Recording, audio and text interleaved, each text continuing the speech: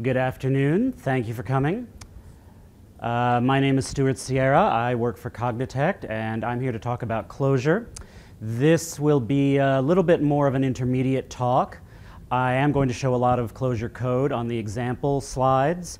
Uh, you won't necessarily need to be able to read all of that in order to understand what's going on, but it might be helpful.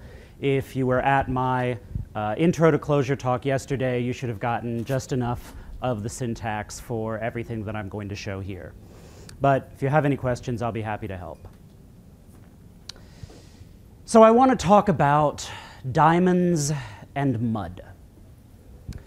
There is a quotation that I've encountered at various times in my programming career uh, talking about the programming language APL. And I don't know how many of you have used APL, I have not, but it's that language with the funny symbols and the squiggles that looks like old High Gallifreyan.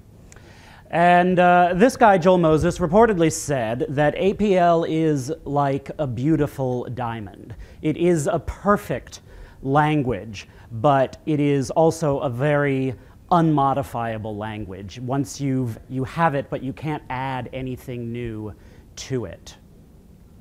And the continuation of this uh, quotation is that Lisp, which was around at the same time, is a big ball of mud. And you can add anything you want to it, but it's still going to be a ball of mud. Now, there is some uh, dispute as to whether this guy, Joel Moses, actually said this. Uh, there is also uh, some confusion as to whether this part of the statement was meant as disparagement or a compliment of Lisp. You could look at it one way and say, well, this is bad because Lisp is always a big ball of mud, and no matter how much you do to it, no matter what structure you try to add, you're still going to have a ball of mud when you're done. But you could also look at this as a positive description of Lisp. It could say that Lisp is infinitely malleable and you can do with the language whatever you want to do, and anything you add to it is going to retain the same fundamental structure of the language. Fortunately for us, in these more modern times, we have uh, design patterns and formal studies of design patterns, including the big ball of mud. Uh, this was described in an article by Brian Foote and Joseph Yoder some years ago. And they said a big ball of mud is a haphazardly structured piece of spaghetti code. Systems like this show unmistakable signs of unregulated growth and repeated expedient repair. Who's ever worked on a system that ended up like that? Yes, yes, I thought so. So this just happens, you know, like we, it seems to be unavoidable that systems just grow and they get more complex and these things happen. But uh, in this article, they go on to actually enumerate characteristics of these systems. And one of the key ones is that information tends to be shared promiscuously, their word, in every part of the system to the point where nearly all the important information is either global or duplicated. And this is a very important point. This is probably one of the things that makes these big ball of mud systems so difficult to work with, is that everything can potentially influence everything else. So as I've worked as uh, a consultant at Cognitect on Clojure programs of our own, and also more recently going into businesses that have Clojure applications and working with them, I've noticed certain patterns that don't work out well for Clojure programs. And I think they mostly stem from the fact that the language itself does not provide a lot of built-in structure. Now, in many ways, this is a virtue. The language is very flexible. You can structure your application however you want. You are not tied into the paradigm of classes and objects.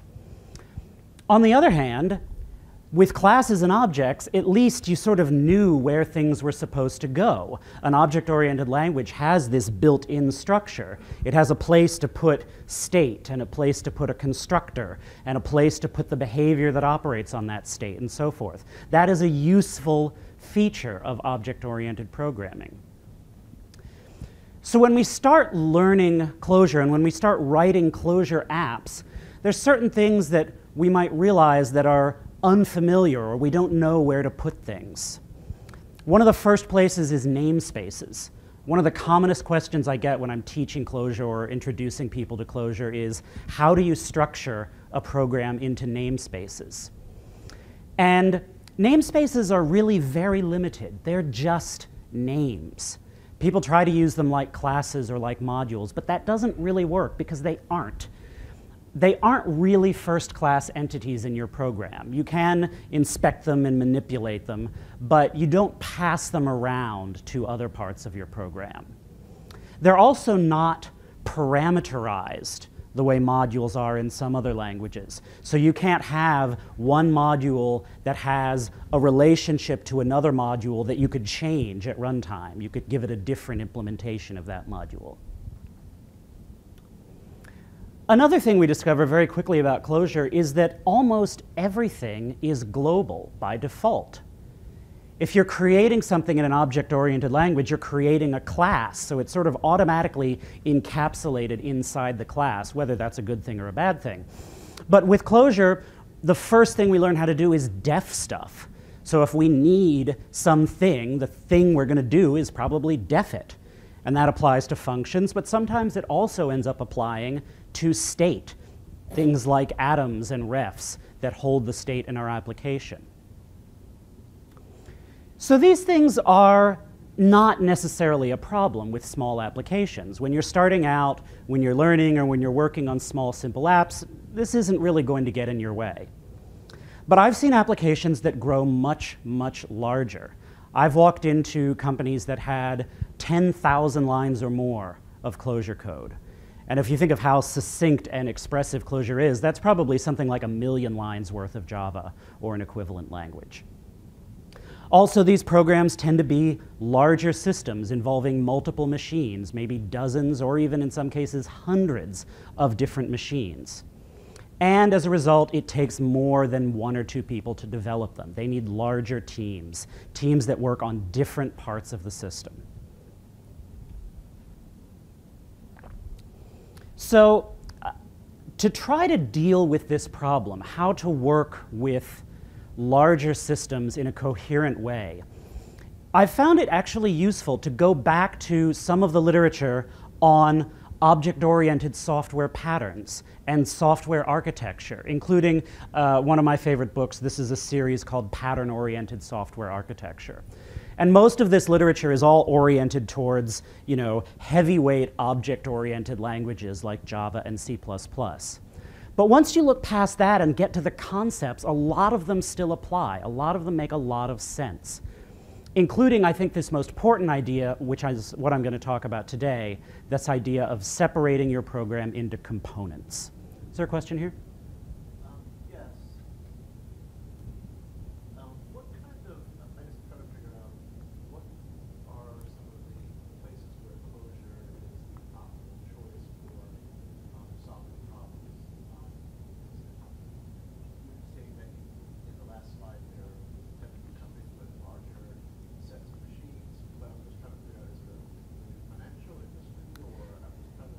Um, okay, so you're asking what uh, types of applications or what types of industries do these tend to show up in?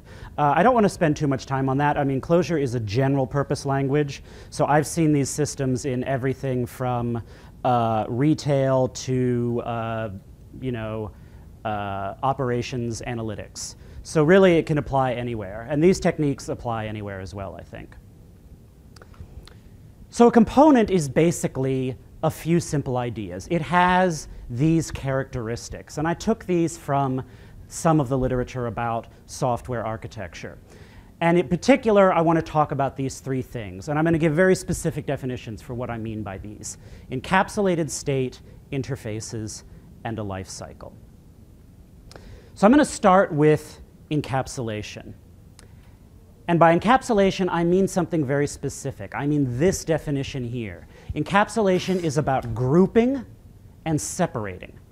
It's about putting things together that are related and need to be handled together, and separating things that are not related, that do not need to affect one another. Notice I am not talking about data hiding. I am not talking about hiding an implementation or private fields or some of the other things that also get lumped under this term. All I'm talking about is grouping and separation. So here's the first problem that I encounter. This is something that ends up in a lot of Clojure apps when we don't know what else to do. We need some state. Maybe it's a connection to some resource like a database. Maybe it's some internal piece of state in memory like an in-memory cache.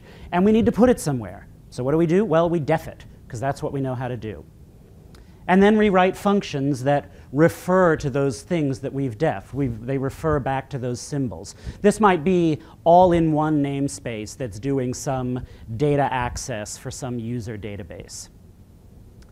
So what's the problem with this? What are those defs up there? They're global mutable variables. The past 60, 70 odd years of software engineering have been trying to get away from global mutable state. And the first thing we do when we have a new language is put the global state back in there. And it's hard to resist, and I'll show you why. But the thing is, as soon as we do this, now we're back in the problem that we had you know, back with before structured programming, where everything was just globally accessible in memory. The problem with having these be global is that as soon as they're global, there's a temptation to share them everywhere. If something needs to refer to that database, well, obviously, it just needs to refer to that var. It doesn't need to go through any other interface to do that. Another downside to this is that by creating these things as defs, we've essentially written ourselves into a corner by saying there can only ever be one of these things anything you def is, by definition, a singleton. So there can only be one of these. If we wanted different database connections or more than one database connection, we'd have to def something else. We'd have to add new stuff. We couldn't just alter, swap in an alternate implementation of this, at least not easily. The deeper problem, though, is that now we have this global bit of state, and we have things that depend on that state but it's hidden from us. A public function in some other namespace might call one of these public functions that are in this namespace, not realizing that they depend on that global state. It's not obvious. So this global state, even if we don't refer to those vars directly elsewhere in our program, we have implicitly infected every piece of our program with global state if it calls one of these functions anywhere in its call stack. So what are the downsides to this? Well, one of the first ones that comes up is that it is harder to do the, harder to test these things. In order to test something that uses some global mutable state, you have to wrap all of your tests in code that's going to explicitly set up and tear down the state when you're done. And it's very easy to forget some detail about this. Remember, those functions we called don't necessarily make it obvious that they're depending on that state. And maybe the function that depends on the state is actually three or four layers deep in the call stack from the function that we're trying to test. How do we know that we need to set up those mutable variables in order to run the test? It's very easy to forget about that. Furthermore, it's easy to make a mistake and have tests suddenly start influencing each other. If two different tests are using something that depends on that global state, one of them might do something that causes the other test to appear to pass when it shouldn't, or to appear to fail when it shouldn't. Suddenly the tests can interfere with each other. Another problem with this, particularly if you like doing interactive development, is that as soon as you reload a namespace, containing these definitions, whether you do it you know, by pressing some key in your editor or your IDE, or just typing require reload at the REPL, you recreate that namespace and you, you destroy whatever state might have accumulated in those mutable variables. So you might say, well, I'm, i can work around that. I can use def once. This is a feature built into Clojure that will not redefine a var if it already exists. This makes it slightly safer to reload your code. But now you have another problem. Now you have no way of recovering the initial state of those variables. If you are developing an application at the REPL and working with an editor that knows how to reload code. You might be working away and changing things and modifying state and interacting with your application, and then you change something. But now the thing you've changed in the code no longer reflects the state of your application in memory. So it's entirely possible and actually quite easy to get yourself into a state where the current state of your application in memory could not have been produced by the code that you have in your source files. This leads to a problem that people run into often enough is that you're developing on an app, you make some feature, you get it working, you get it tested, you get it running, you're done, you go home, come back the next day, restart your REPL, and all your tests fail. That can happen because the state that you were interacting with was not in sync with the source code that you were writing. So another way I've seen people try to work around this is by hiding the state. They say, you know what, okay, that state, I don't want it to be global, and I want to make sure that nothing else can refer to it. Even if I make it private, someone could still get at it. I want to make sure it's totally isolated. So they'll hide it in a closure like this. Turns out this really isn't any different. This is still global state. It merely happens to be hidden. These functions are closing over that ref and that atom, but they are still having a global, they still have global state. We haven't really changed anything. In fact, in some ways, this is even worse because we can't even look at that state. We can't inspect it in the REPL. We can't use it to debug stuff. So instead, what I try to do and what I encourage people to do is try to shift from using global state to using only local state in all of your functions. If we need to create two things that are related, say a ref and an atom as before, or here just a ref and uh, an empty slot, we can create a constructor function that gives us a well-defined initial state for that thing. Let's say this is the component that needs to deal with our users database. A constructor function gives us a single well-defined point that creates the initial state for that component. It also encapsulates the related state in a data structure. Could be a map, could be a record, could be any of Clojure's data structures really. Usually a map or a record is the most convenient. So now we have a single object that represents all the state we need to deal with this particular component, with this user's database. We can then define the functions and the operations in that interface in terms of that component, in terms of that data structure. We pass them in as arguments. And that makes the dependencies very clear. If we look at these functions, we can see immediately, okay, they are using this piece of state, this user database object. What is that? Well, I can look at the constructor. I could also have more elaborate assertions or checks to say what that thing is. This is very nice for testing. It means that if we want to test this thing, we just create it. And then we can call a function that uses it. And this guarantees that all of our tests are isolated. If each one is creating its own new piece of state and then using it, then we know that they're not going to affect each other. Another nice property about this is that when all we're defining is the functions to create the state and not defining the state itself, then that is safe to reload. So this code here can be safely reloaded without destroying any state that we already have built up. Now, we still have to be careful. There are some other techniques, which I'll talk about later, that we can apply in order to ensure that the running state in our application actually matches the code that we have. But this is the first step. This is the thing we need, is this well-defined initial state in order to produce that. Another thing I see a lot of, and this just really drives me nuts, uh, it was particularly prevalent in early versions of Clojure when every var was implicitly dynamic, meaning everything could be rebound in a thread local context. Fortunately, that's no longer the case. Now you have to explicitly declare that you want something to be dynamically rebindable.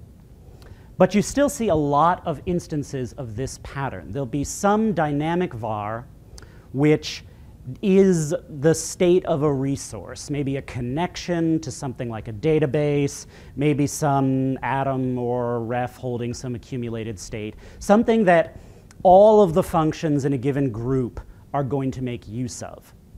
And this looks convenient. This says, oh, you know, I don't want to have to pass that thing in everywhere I want to use it. I just want it to be there. I just want it to be available all the time. So they make a thread-bound dynamic var. This kind of has some of the same problems, though, as the global var. This is a hidden dependency. If I have some function, you know, three or four layers out, that is calling this op1 function here, how do I know that that has to be called in the context where resource is bound? I can only tell that by looking at the code or when I get an error. So we have a hidden dependency here, and we also have the same problems with managing that state. Now I have to know that I have to manage this state in my tests or anywhere else that I need to create it. So part of the temptation, I think, with using this pattern is that it's easy to write little macros that wrap around it. Things like this. This is a very, very popular and, in my opinion, very misguided pattern in Clojure. It looks sensible. We're creating a macro that declares a scope in which some resource will be available. It binds that resource to a thread local var, then executes the body, and ensures that the resource gets cleaned up when we're done.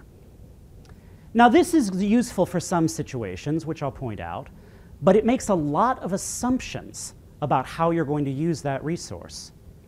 The biggest one being it assumes that whatever thing you're going to do with that resource, it's going to start and end on a single thread. Binding is thread local. That's how it's defined. So one of the first places you might run into this is if you return a lazy sequence from the body. This is something that tends to bite people a lot when they're starting out with Clojure, when they first do something that returns a lazy sequence and they're like, why did it not work? Why did the thing close before I was finished using it? It's because it turns out this binding is something that's determined in time. And laziness is something that has indefinite time. You don't know when a lazy sequence is going to be realized. Also, there's no reason for a code, piece of code like this to assume that some operation is going to happen on a single thread. It might happen on another thread. It might dispatch to two or three other threads or agents or channels in core async. There are it's a, it's a pretty big assumption, in other words, to assume that whatever we're going to do with this resource can start and end on exactly one thread.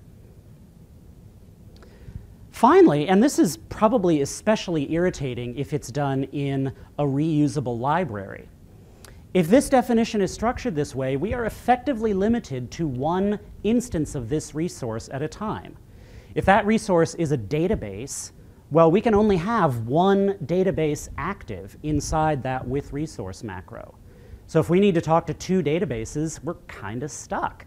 It's really awkward to have to set up one, do stuff, then set up the other one, do stuff, then maybe go back to the first one, and so on. It's a very awkward pattern to use.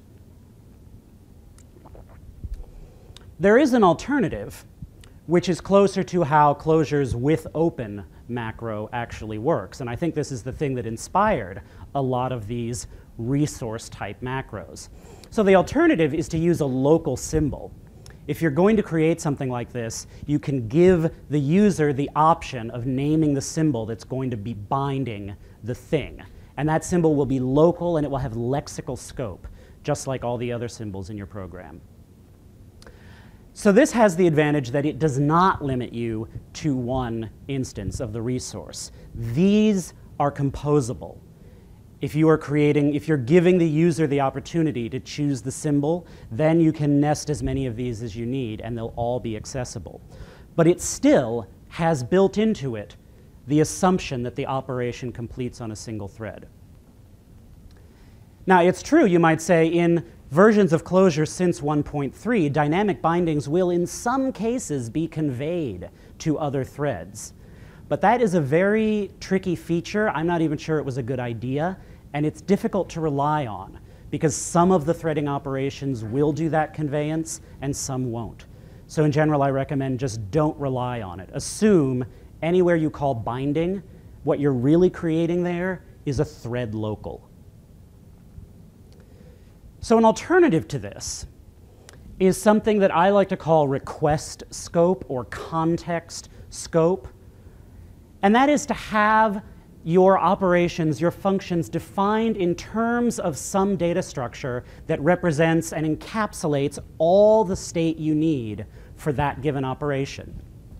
Now, the most common example of this is probably in a web app where you have a request. Although some of the dominant Clojure web frameworks assume that you have either a request or a response, but they don't allow you to carry around both at the same time. That's one problem, but you can pretty easily work around that. So assume that all of your functions are going to operate on some data structure that encapsulates all the state that they need. They don't need to reach out to other parts of the program. They don't need to touch global vars. They don't need to reach up the stack for dynamic binding. They just need the locals that they've been passed.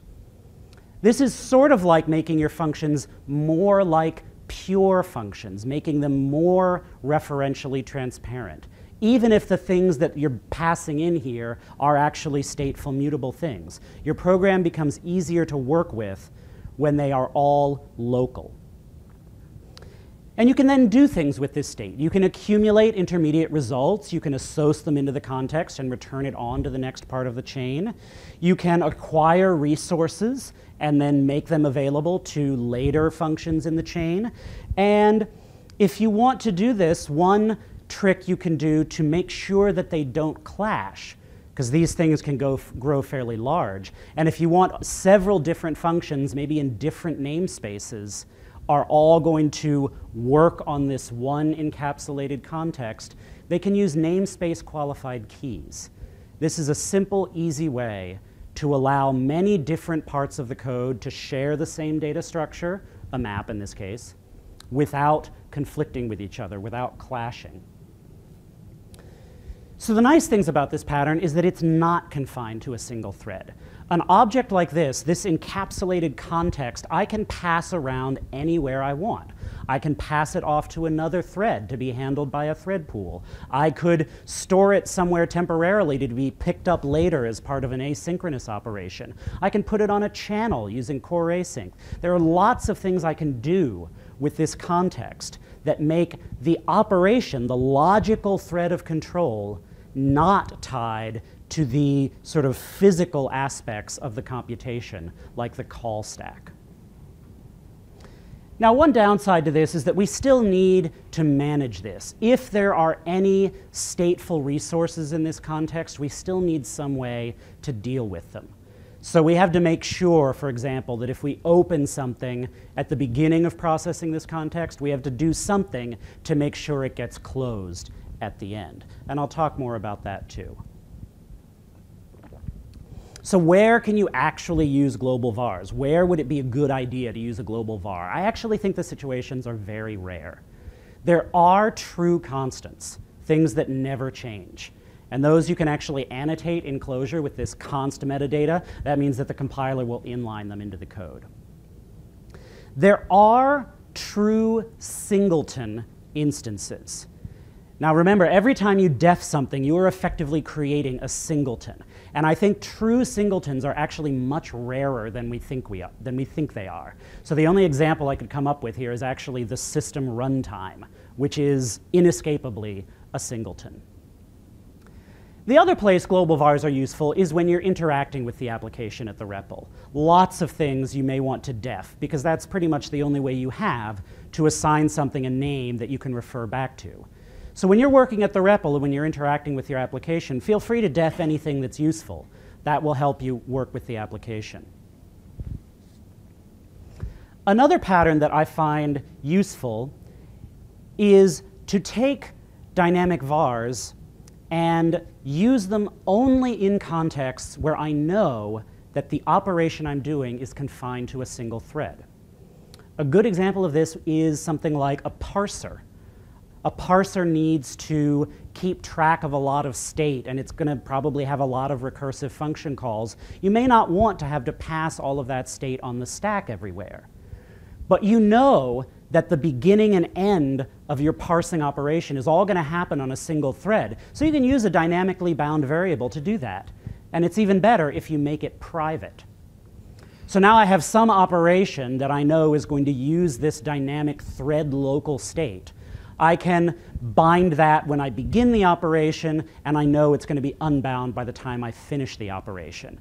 And because I wrote this code, I know that this is not dispatching to any other threads. It's not returning a lazy sequence. It's not doing any of the things that would make a dynamic binding problematic. Another place where I've encountered this more recently is working with Java APIs that are single threaded by definition. For example, the JMS, the Java Messaging API. All of the classes in JMS are defined to be not thread safe you have to create thread local instances of all of them to use them. So I found it very useful to use dynamic bindings to hold them because then I know that whatever instance I have, it is confined to the thread on which I'm currently using it.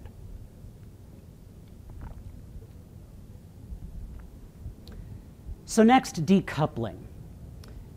Decoupling is the idea that we can change parts of our application without actually modifying the code. Basically, it means identifying the boundaries between different parts of the system and then declaring, okay, this thing is over here, that thing is over there, and here is the interface between them. Here are the things that allow this to communicate with that. And if we control those things at the interface, then we have a way to insert maybe other implementations or alternate versions of one or the other of those components. So I have an example here, which I have to admit is not a great example because I would probably never do this at the level of something as primitive as a database. I am not going to try to mock out an entire database in my application. But let's take this as an example for now. Let's say I have an application and I know that I'm going to use a key value store for my data. I don't know which key value store, maybe I do know, but it might change, whatever. So I know that I need three operations from my key value store, very simple operations. These are the primitives of my interface. These are what I have to make sure is available. Now once I've done that, I could define the public API that I'm going to use for this service in terms of those primitive operations. So notice the protocol here is a place where I can change things. It is not the place that is necessarily the public API for that component. It could be, but it doesn't have to be. So once I've built a public API on these primitive operations, I can define different versions of this component using different techniques. So say here I have a SQL database and I've provided the implementations of those primitive methods so that I can just run MySQL, whatever, locally. And I have some state that I need to use to manage this connection, and I'll create that in a constructor function. So I'll provide a constructor function for my implementation of key value store using a SQL database. Then I might provide another implementation that has a different way of working. Here I've implemented those primitives just using Clojure's mutable reference types in memory. And then I provide a constructor for that, which creates its state locally every time I construct it. So now I have two different versions of this data storage component. They're both using the same public API. They both use that, uh, what did I call it, the swap function that I showed earlier. That is defined in terms of the primitive API, and these different implementations only have to implement that primitive.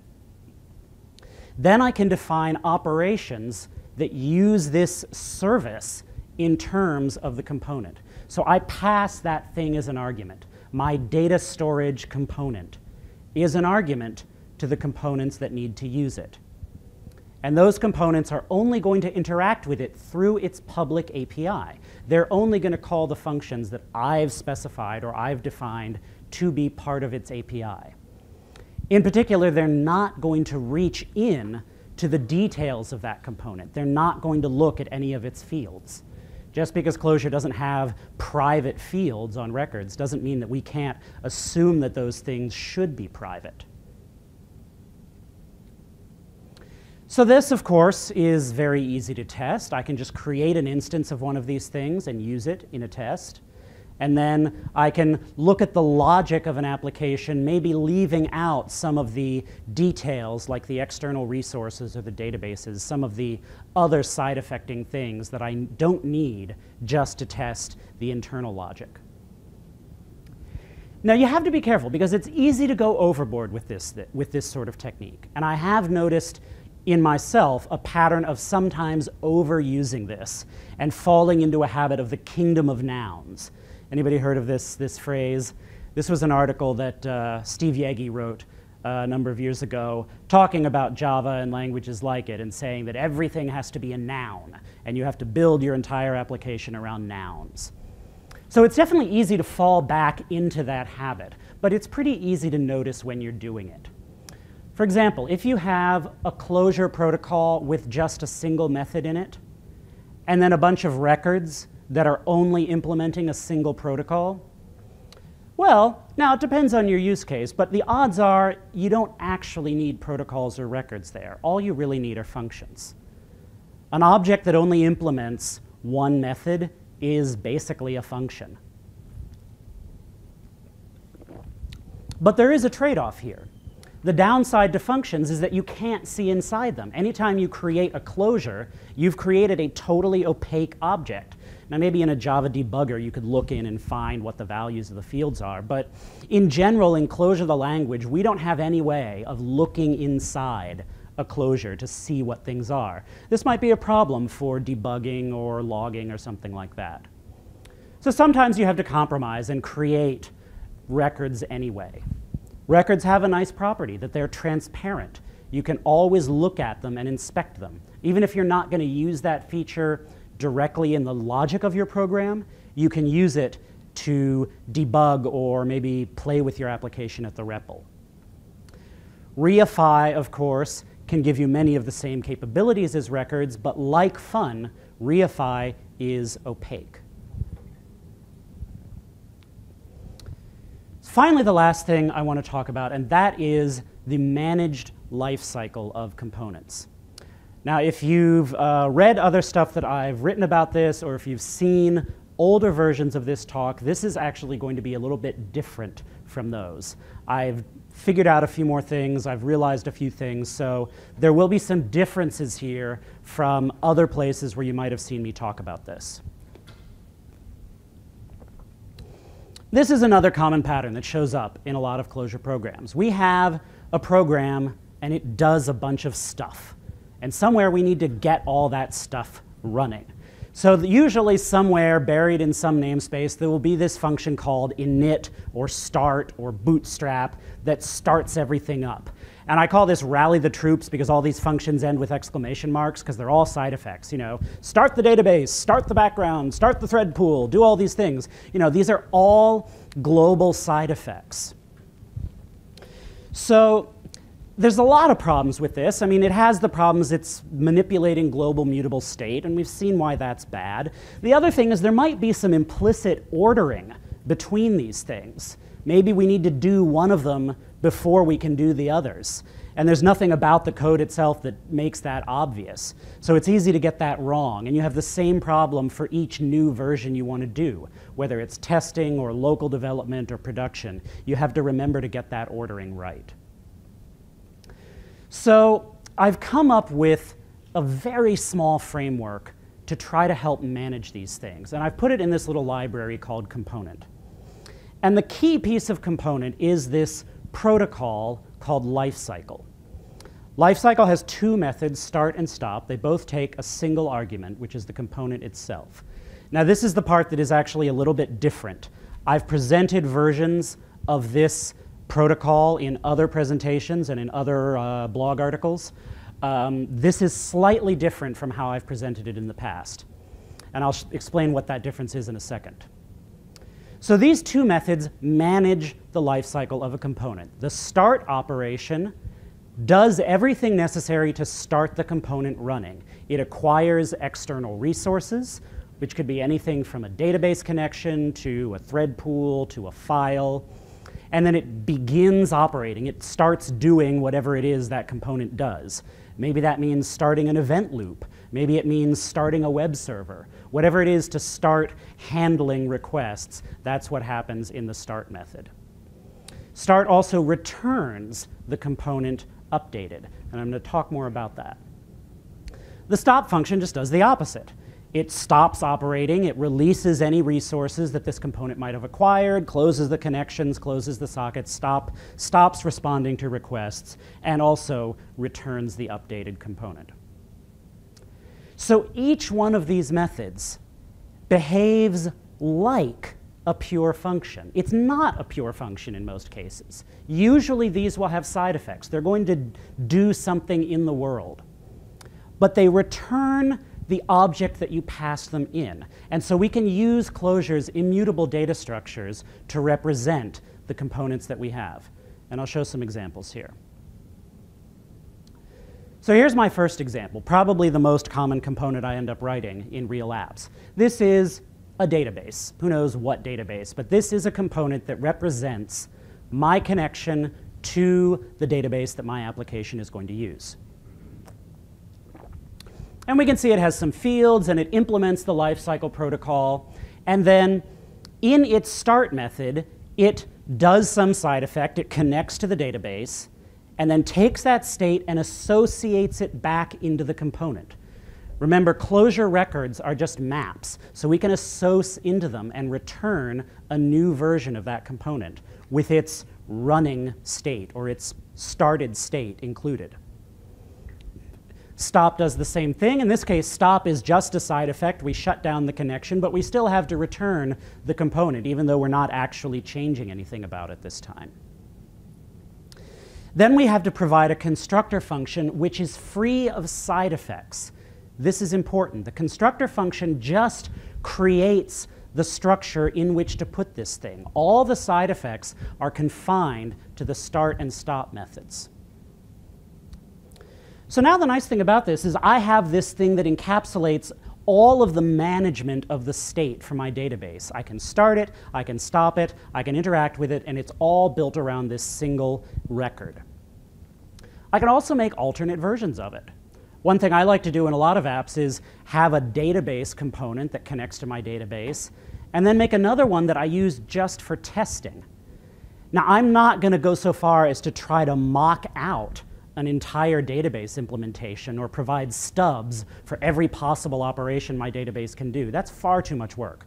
What I'm going to do is just provide an alternate implementation of the component that creates the database when I need it. It creates maybe some uniquely generated name using my local instance of whatever that database server is.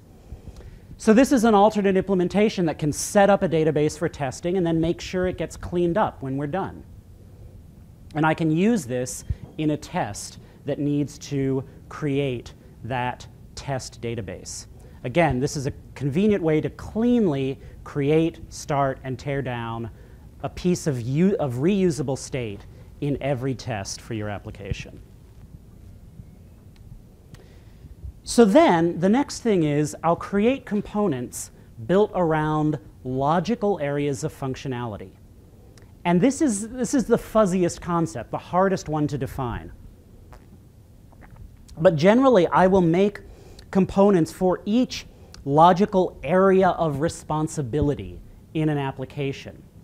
Now, at the bottom level, that might be dealing with a particular piece of external state, dealing with some external system like a database or a message queuing system or a, a remote web based API but it could also be a group of related functionality, things that sort of logically go together. Now, in object oriented languages, it's very typical to sort of put all this responsibility into data objects. You have an object representing a user or a product or whatever your domain object is, and it has methods on it that do stuff. In Clojure, I think really even in Java, I don't think that makes a lot of sense. That's just data individual instances of things, of information in your program, those are just data structures. But the piece of functionality as a whole, the thing that actually deals with all of those, that is a component. That has some state that we need to manage. So this example, this is a, a component that manages the API for our users, whatever our user objects are. Whatever database they're being stored in, I know that there are certain things that I will need to do related to users. And I'm going to encapsulate all that in this record and call it users API. So in the start method of this component, I can use other components. Notice one of the fields in users API is database. That's going to be an instance of the database component that I created earlier. So components can depend on other components. And in the start method, I can guarantee that the components I depend on have already been started. And I'll show how that works later. But I can do things. I can start running in this start method and do things that depend on other components already having been started. The final bit is this funny little function here, using.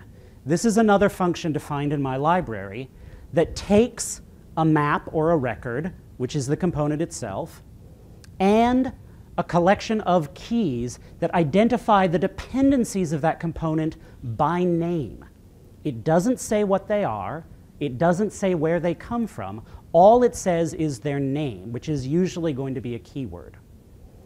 So this is a declaration that this component, this user's API component, depends on something called database and something called email service. And it'll be up to something else in, this, in the application, which I'll show next, to actually provide those things to that component. Now, all the using function actually does is just associate some metadata onto this object. That's why it works for records and maps. Anything that can have Clojure metadata on it can have this annotation on it to say what it depends on. So then when I'm defining the operations that make up that user's API, I define them in terms of the component, in terms of that piece of encapsulated state. So here's some action. I need to notify some user of something, and I, I want to send them a message. Well, I can pass that function the, the component that it depends on, the user's API component. And then out of that, I can pull all the dependencies that I need. I know that the user's API was declared to depend on the database and the email service. And that means those are going to be available as keys in that record or map, and I can destructure them out. Then I can call other components via their public APIs. So my user's component contains some other components, and I can refer to them by calling their public functions. But notice what I didn't do. I didn't pull database and email service out of some other place. I didn't pull them out of a global var. I didn't pull them out of dynamic scope.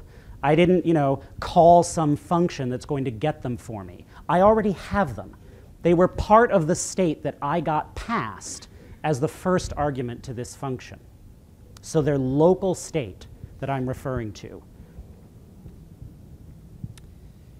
So in order to tie all of this together, I need a way to tell the components where to get their dependencies, and I need something to provide those dependencies to them.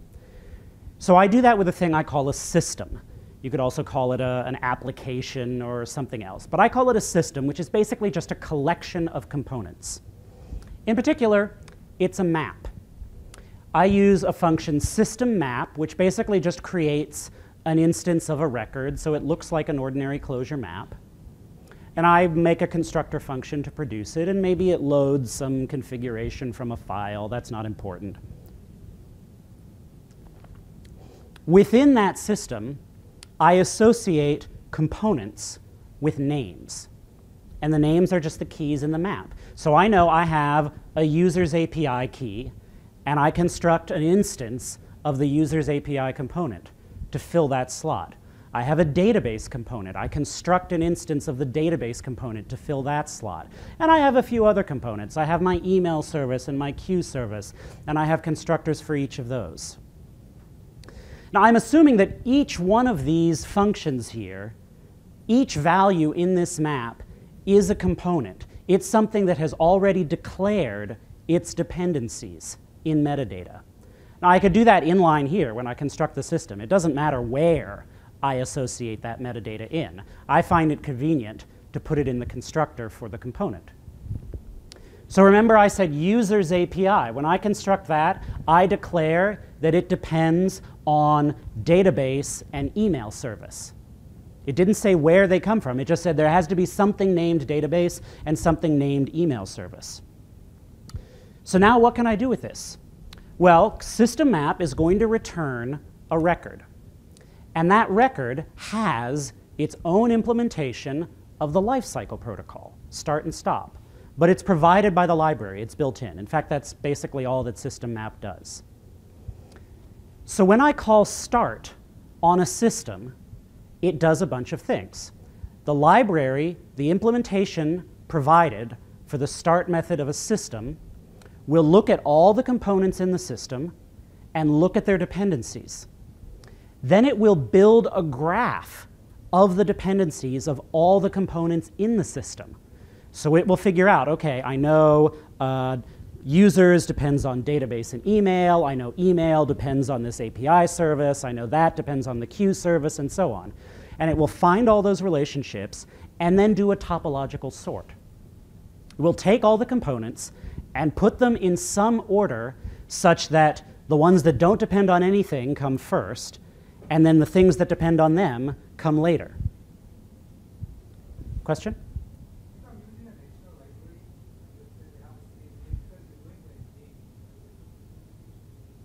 There could be duplication in name. I'll talk about that in a second. Um, however, I am assuming that this is all your code. This is not something that I expect libraries or you know, reusable tools to be doing. This is primarily an application development tool. So within system, we've called start on the system. It has a graph of all the components. It knows the dependency order, and then it's going to start each one in order. Now, when it starts each one, here's what it's going to do. So say we're going to start this component here. Well, it's going to see what are the dependencies of this component. It knows that they've already been started because it sorted them into dependency order. So those things are already available in the map, and it's going to get them out of the system map and then associate them into the component. So that database that the user's API depends on, let's say database and email, the user's API depends on database and email. So we know that database and email are going to get started before users. So then it's going to get the database component and the email service component from the system map and associate them back into the user's API, which also, remember, is a map or a record in this case. Once we have done that, once we've injected those dependencies into the component, then we call start on it. This is how we know in that start method that the things the component depends on are already available. Now remember, the start and stop methods return an updated version of the component. So the system is going to take that started version of the component and associate it back into the system map. So what we end up with is a system that looks like exactly what we started with. It still has the same keys, and it still has all these components in it. But there's something different about it now. One, they've all been started. And two, each component has associated into it whatever subset of the system it depends on.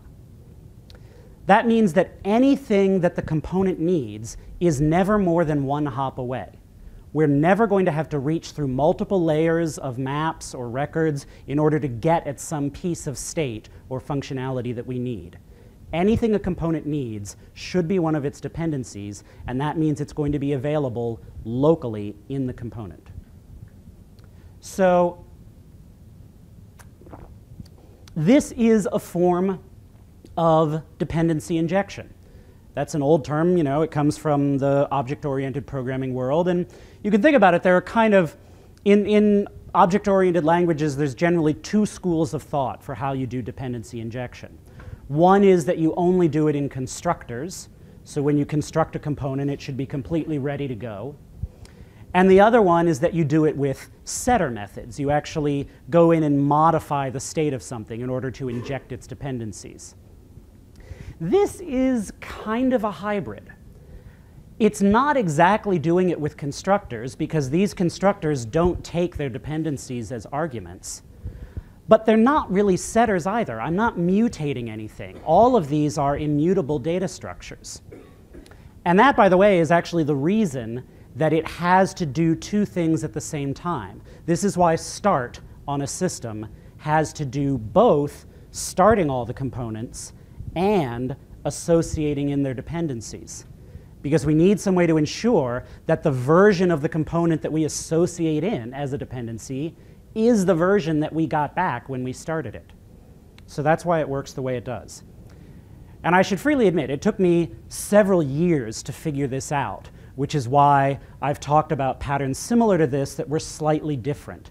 I've done versions where life cycle could actually mutate the objects, where there was some mutable state. So this has been a gradual evolution for me as well. But there are lots of neat things that you can do with this. One of them is you can create alternate versions of your system and then inject different versions of components. Remember, the system is just a map, or a record in this case, but records behave like maps. So that means if I want to inject a different version of some dependency, all I have to do is call assoc. I have to do that before I call start, because start is the thing that ties everything together. But before that, it's just a map. I can assoc, I can swap in, I can do whatever I want with this map. And to answer the question you brought up earlier, another thing I can do, there's nothing special about the keys in this map. They could be ordinary keywords like this. They could be namespace qualified keywords. They could be they, really any data structure, strings, whatever you want to use as labels in your program. So if you have two different pieces of code that are going to create components with similar names, you might use namespace qualified keys to refer to them.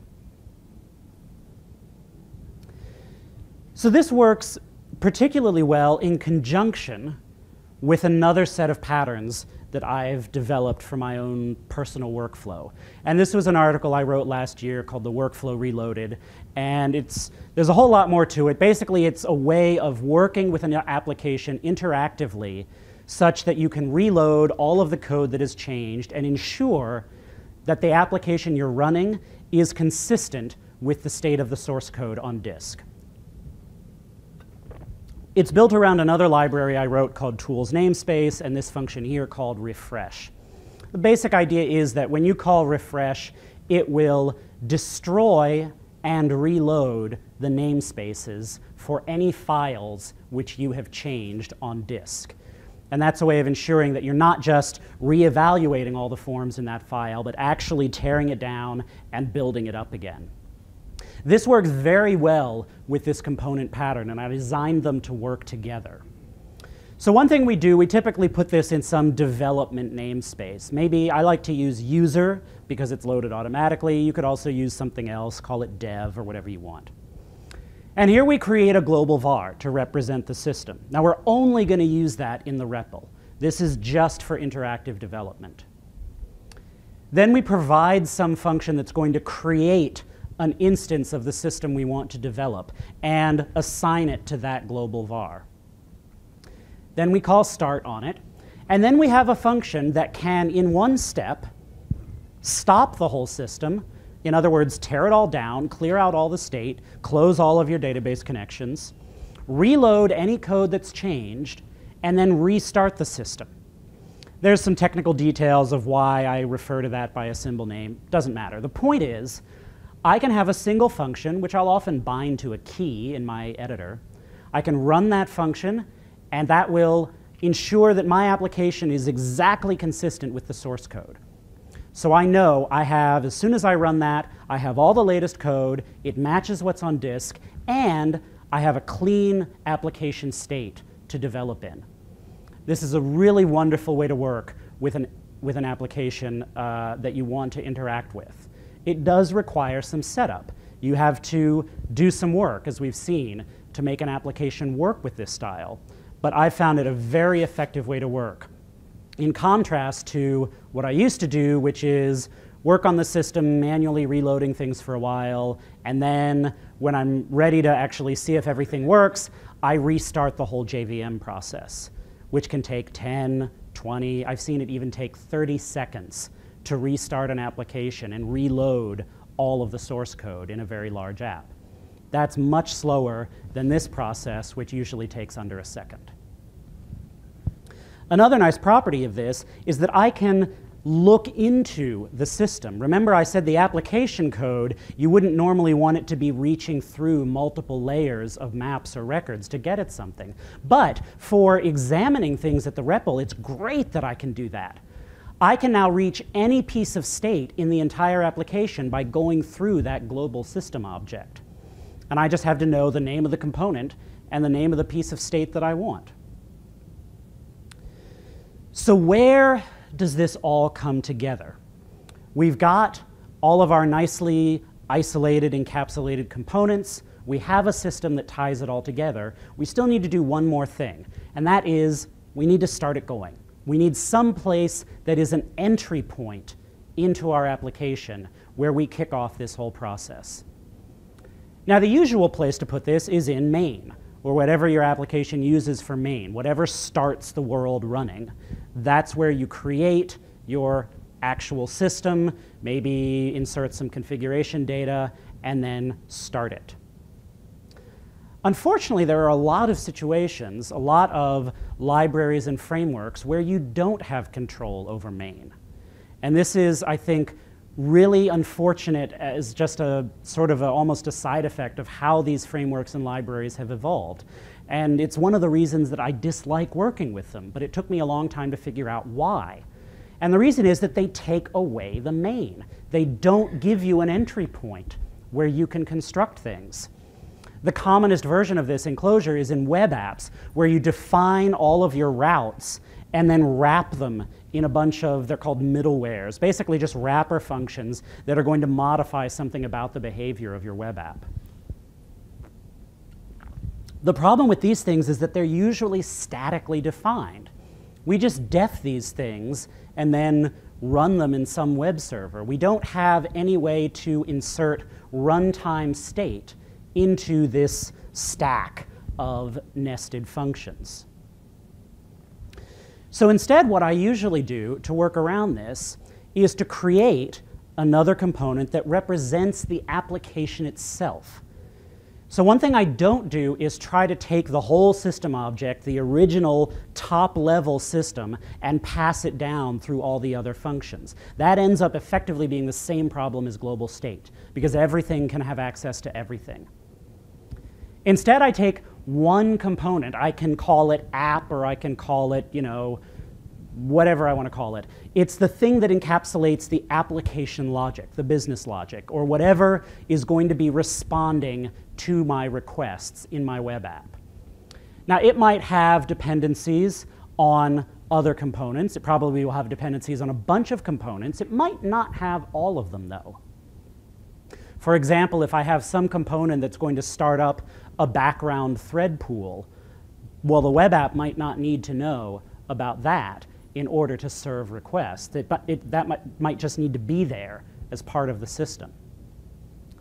So once I've created a component like this, I create some dynamically constructed middlewares and routes that actually insert that component into the request handling chain. And this, you know, I see this as basically a hack. It's a workaround. It's a way of getting some state back into uh, a framework that doesn't give you access to the main entry point. And really, the only key difference is that instead of defining that nested stack of functions in one place and making it static, I provide a function to construct it. And then when I start up a web server, I call this function, passing it in the web app component that I've constructed as part of my system. And so anything that needs to use the application context, it will be able to find it under some part of the request. This is why I would actually prefer to have a context that includes something more than just the, the web request. But most of the libraries for doing web stuff in Clojure just give you a single request object. But that's fine, it's a map. We can associate whatever we want into it. So here's the summary. I have basically just these ideas.